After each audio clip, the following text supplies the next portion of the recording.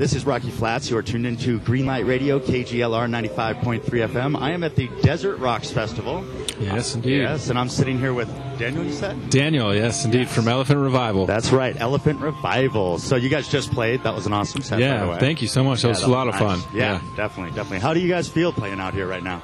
It feels great, you know. We're really lucky to, you know, go play in the Pacific Northwest where you're in kind of rainforest kind of stuff and and then you come to the desert. Wherever we go, you know, it's always a new atmosphere and you get Right. get the taste of, of America, so it's right. great. Yeah. Definitely, definitely. Now, where does Elephant Revival uh, hail from? Elephant Revival hails from Nederland, Colorado. Oh, that's the- my home. That's your home. That's All my home. That's cool. where I was raised. So Okay. nice, nice. All right. Good stuff. Nice. Um, so, how long? How long have you guys been a band together? We've been a band for over four years, about four and a half years. Nice. So Nice. Yeah. It, Okay. it feels like we've been uh, pretty much on the road since then too. So Right, right. yeah. Well, you guys have been growing in popularity for sure. I actually didn't hear about you until about eight months ago. Oh, cool. Um, and I know I'd heard the name here and there. Wow. I mean, even coming from Netherlands, Right? know? Yeah, Wow. yeah. You know, well, Netherlands has great music. It's Oh, known, man. known for it. At least I think it is. Of course, I grew up there. So. Yeah. So, awesome. Yeah, yeah. Um, so, um, what future tour dates do you have coming up? Where are you guys going after this? Um, Where are you guys after this, we play a festival um, on at State Bridge, in, right outside of Vail. Oh, nice. Yeah. So we do that. Oh, yeah, State Bridge. Yeah. Yeah. Okay. Yes. Um, and then soon after that, we fly to the East Coast and we do about six or seven dates on the East Coast. Nice. One of them being um, we're opening up for a band called Dispatch at at um, the Boston Garden. So it'll be wow. we'll be playing potentially in front of twenty thousand people because it's already sold out. That's awesome. It'll be our biggest show thus far. That's awesome. Yeah. Now, have you guys actually recorded an album, like put up a produced album? Yeah, we have two albums. Have we two have albums. our first one is self-titled. Okay. Um, it's got some really good songs on there. Uh, uh, our second album that we just recently put out um, is called "Break in the Clouds." Right. And um, there's some really really good gems on there. Nice. So nice. yeah, When did you guys just finish that? Or we we finished it. Um, I'd say last winter. okay.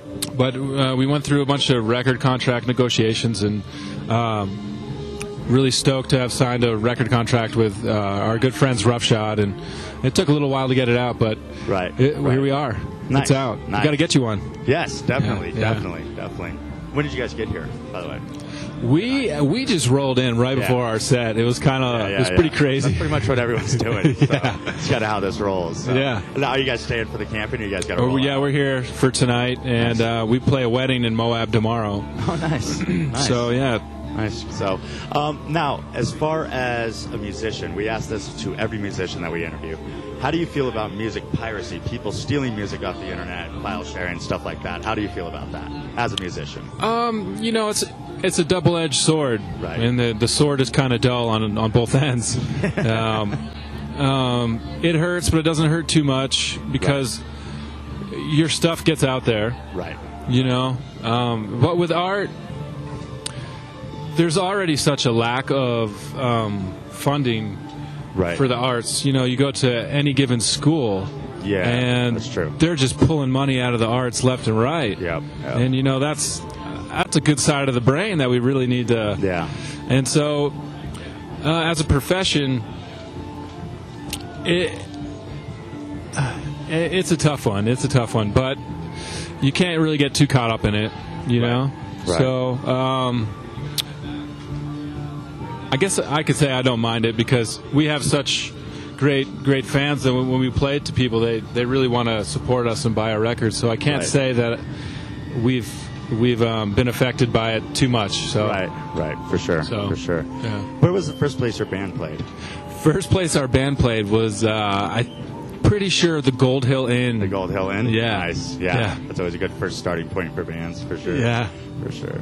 Um, have you guys done any collaborations with other musicians uh, that like on the albums or anyone anything Yeah. coming up or even just live in a jam session? Or, Yeah, actually, one of our first gigs um, up at the stage stop, we had uh, we played with uh, Jack Johnson's drummer, this guy Adam Topol, um, and Pierce Ficini, and um, every time we're around Vince, I mean Vince Herman from Netherlands Yeah, as yeah, well I from know Vince. Leftover, and uh, every time we play festivals with him, we're always crossbreeding on the.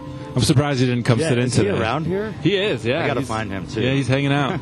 um, but yeah, we're really open. I mean, music should be that's the way it should be. You know, really open. Definitely, And definitely. Uh, we we like to to harness that. So Nice. Yeah. Now, um, how can people find out more information about your music? Uh, is there places on the internet they can go?